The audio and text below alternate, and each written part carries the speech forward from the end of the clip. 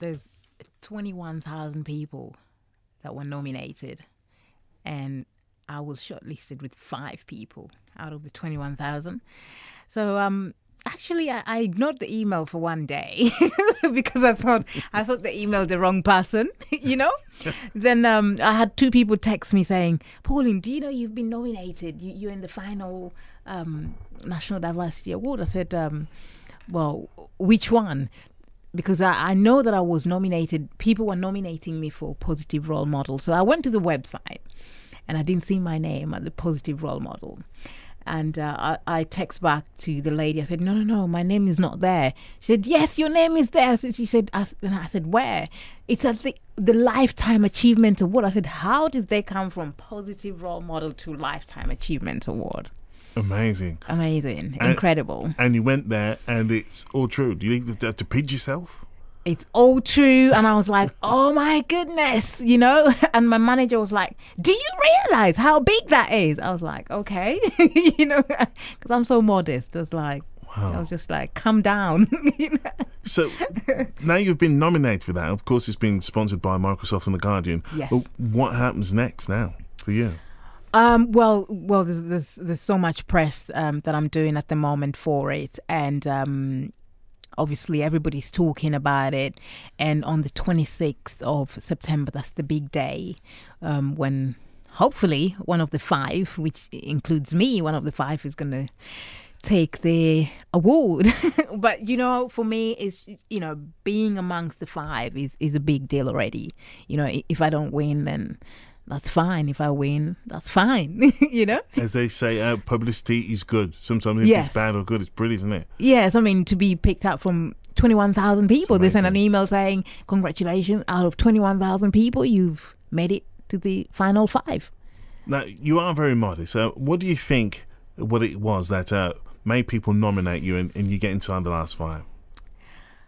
I think is it's because of my success and the way I define my success is what I've done for people. You know, it, it's not what I've done for myself, what I've done for people. And, you know, in the black community, you know, everybody says, oh, Pauline has done this for me, Pauline did that for me, or, you know, through the BEFFTA Awards, through my mentoring scheme, and through so many other things that I do.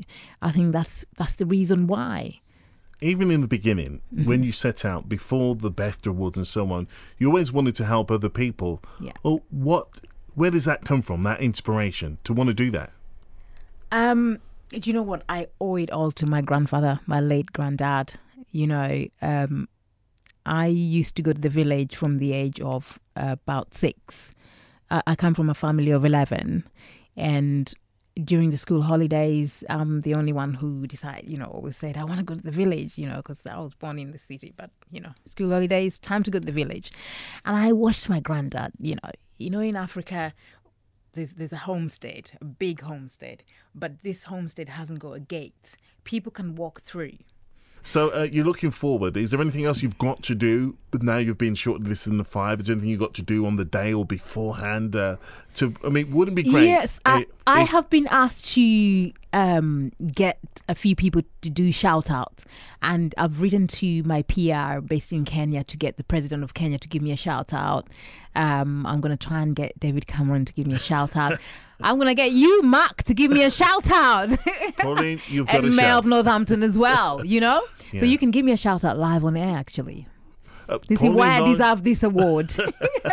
You've done great work in the community, and you continue to do that. So, um, and of course, uh, the BEFFTA Awards, which you're the founder of, yes. thousands of people attend that each year, and mm-hmm. you look at the, the success it's promoting and bringing through uh, new and and present talent, don't you?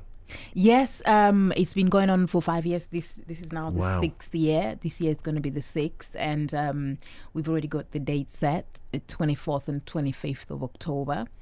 Um, the public nominations are open.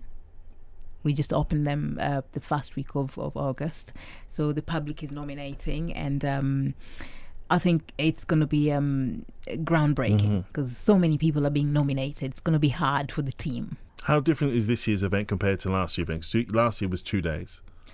Um, it again is two days because we've now gone past. you know, we, we can't be reducing the numbers. It's it's two days again, and um, it's it's going it's going to be quite big because we have a lot of international stars coming in. Um, I mean, we have um, uh, the first runner-up of Holland Pop Idol headlining. You know, this year, Wow. Natalie Makoma and so we we're expecting a lot of um, a lot of celebrities, a lot of you know non-celebrities, people in the community just coming to celebrate as usual, just coming to honor and coming to celebrate. This this go- finish off, finish. And I know you're waiting for the good news. So, yes, and, and guess what? And I know I know I didn't give you the exclusive, but last week uh, I was on BBC Merseyside and I gave them an exclusive, and I want to give you an exclusive Well, because we course. are we are going to be live BEFFTA Europe in Holland on the 29th of November. Really Yeah, so Belgium, France, and all of them. fantastic. And then Yes.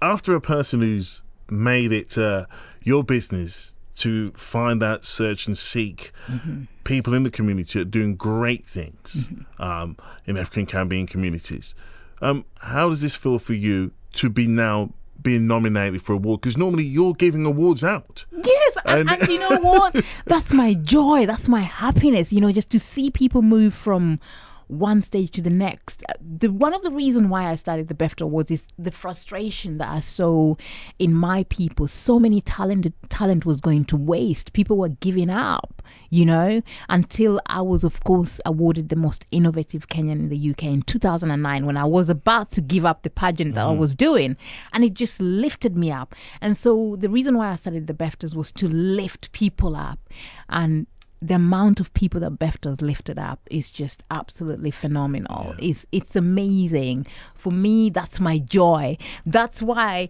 I don't know how to celebrate my own National Well, you- Diversity Award. I don't know. Um, My manager's like, "You're too modest. What's wrong with you?" I'm like, "It's no big deal. I just want to elevate the other people. You know, I want to elevate them. That's that's all I want to do." Well, you've you've come here. You're you're you're a Northamptonian lady now. Yes. you, li- you live in our. I need to wake up. I'm yeah. from Northampton, not London. um, but um, is there anything that we can do to, to give you any support for this award? Yes, I want the entire Northampton to know that a woman from Northampton is being awarded from the entire nation. One of five from the entire nation, you know, from Northampton. I'm representing Northampton.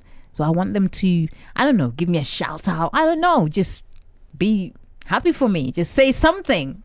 Well, are you going to come back and give us the exclusive? If it is, if it is you who picks up that number one prize, is it You're going to come back and show? Do you believe in prayer? Of course. Yeah, so pray every day.